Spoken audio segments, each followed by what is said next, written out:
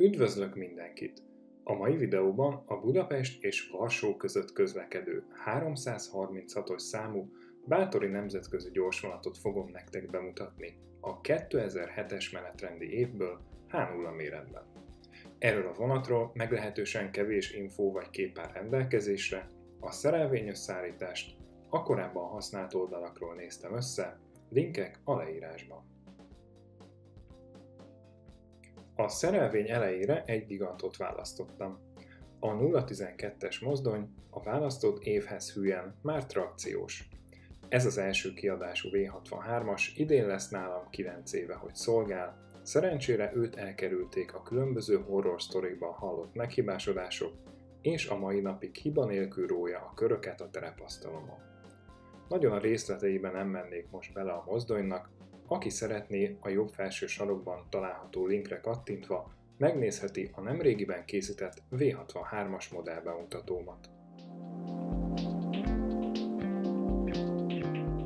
A szerelvény első kocsia egy fekvőhelyes KAF BCMZ Kuzet kocsi. Az NMJ gyártmányú kocsi, hatodik korszakos, már start feliratokkal, új osztályjelöléssel, viszont még startrogó nélkül.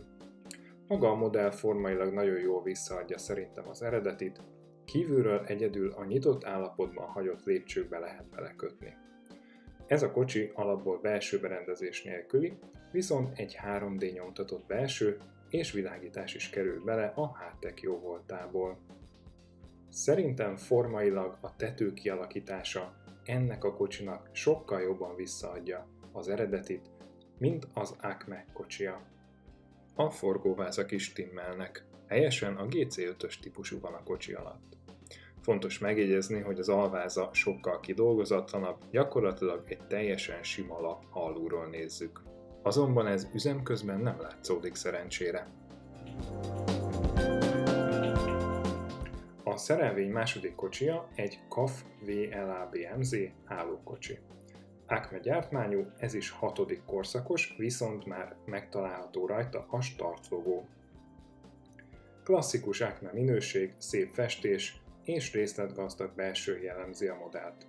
A forgóvázak viszont nem passzolnak. A GC5-ös helyett egy rá csak picit jellegében hasonlító fiat található a jármű alatt, továbbá a tetőbordázat sem sikerült olyan jól, mint az NME kocsiján, kocsi végeknél valahogy nem az igazi az egész.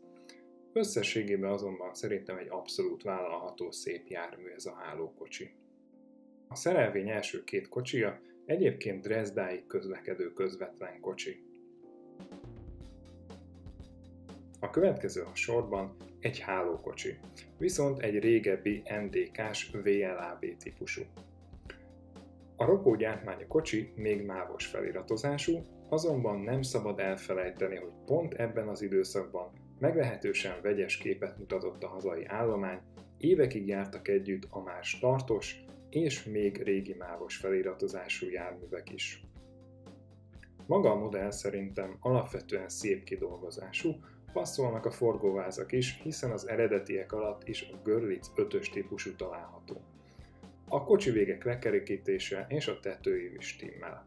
Egyedül a tetőn lévő, a kocsi végnél lévő panelbe lehet belekötni, itt nem sikerült megjeleníteni ennek a lefogató csavarjait, ez a Tilvi kocsin sokkal jobban sikerült, illetve a kis fehér jelző valami az oldalán nem jó helyen van, nem tudom, hogy ezt az alkatrészét hogy hívják a kocsinak.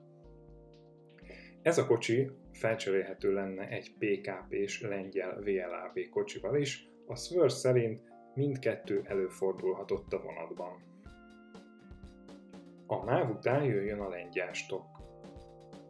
Itt először egy PKP BCOU kocsi található. Pico Expert modell. Már készítettem róla egy modellbemutatót, jobb felső sarokban találjátok ehhez a linket. Szerintem ez a kocsi továbbra is kiemelkedően jól sikerült jármű, helyes, pontos a forma, szép a festés, és remek a futási tulajdonsága. Egyedül a festetlen belsőt lehet megemlíteni, mint hiányosság, azonban egy ügyes modellező ezt könnyen orvosolhatja. Ez a kocsi egyébként helyettesíthető MÁV BC fekvőhelyes kocsival is, mind a kettő előfordulhatott a vonatban.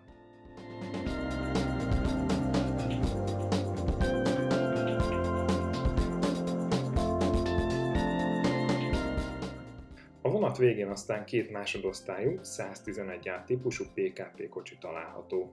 Ők is szerepeltek már a korábban említett modellbemutatóban, a részletekért érdemes megtekinteni azt a videót is.